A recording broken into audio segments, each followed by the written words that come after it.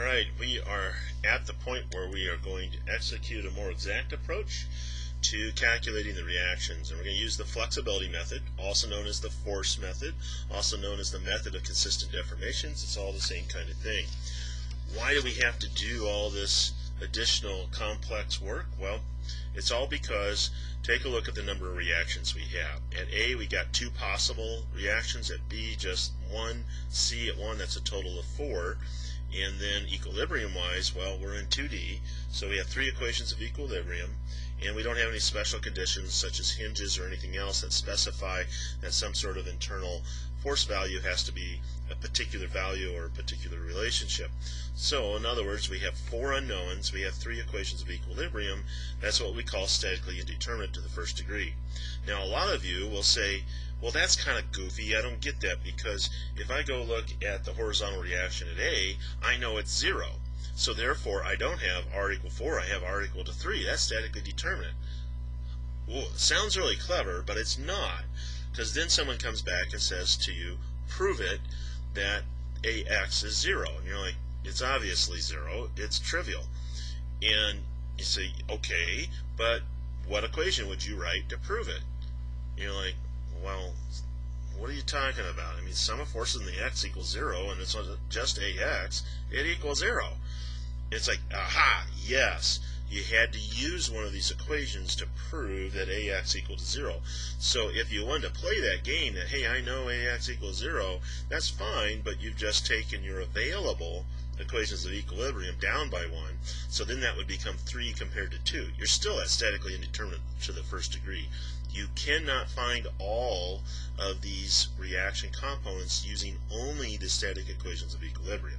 Okay, so it's statically indeterminate to the first degree, and now we've got to address this um, with something more complex than just simple equilibrium equations.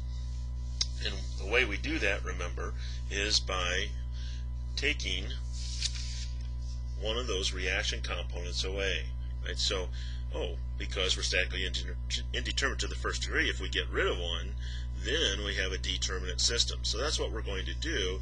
This whole system will get rid of one of these reactions. I chose By, and then allow the system to respond to these loads, the actual loads, let it deflect, and then we're going to push it back into place such that when we superpose or add these two together, we're going to end up back in the original condition. In the original condition, that displacement at B was equal to 0. Now you'll note that I rewrote that as delta 1 as opposed to delta B. If you're only dealing with one degree indeterminate systems, you don't need this additional uh, nomenclature that I'm introducing here. But if we have two, three, four redundant reactions, we're going to need that additional numerical notation, and using the numbers is easier ultimately to execute than the, the letters. You'll see this later on in more complex models. Here, though, I'm going to going to do it just to introduce it. We don't have to.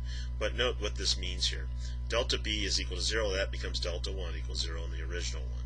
Right Now, this deflection that happens after we remove the redundant reaction and apply the actual load, that's called the primary structure with the primary displacements, as in the displacements due to the actual loads. We call that delta 1 0. 1 for the location that we're at, the redundant reaction location, we call that a degree of freedom, and then and that also has a direction to it, up in this case. And so delta 1 0 would say we don't have any redundant reaction that is there. Now, because of what I showed up here above, and that's the positive direction, in reality, delta 1, 0 will be a negative value when we finally get done with this. Right?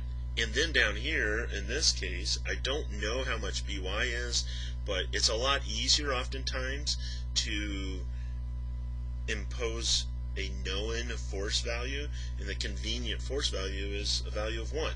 So when we have that special unit load on there, then we calculate this displacement that's happening here. We call that a flexibility coefficient, F11. It's the displacement at degree of freedom 1 caused by a unit load being applied at degree of freedom 1 in this case.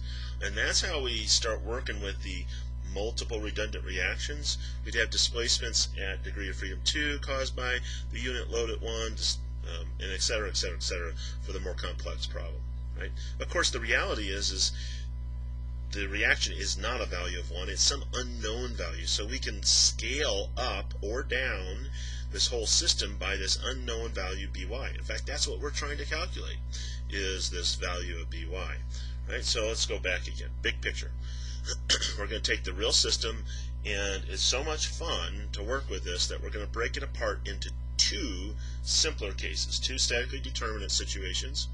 Get rid of that reaction, allow the loads to displace the structure, and then we're going to put that um, reaction back into it, and we're going to en end up adding the displacements in each of those systems as the compatibility equation where the unknown reaction is going to be our unknown and that's what we're going to actually solve for.